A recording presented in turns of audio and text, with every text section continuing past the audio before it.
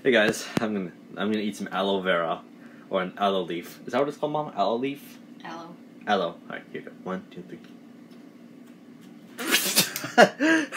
Bitter. Is it?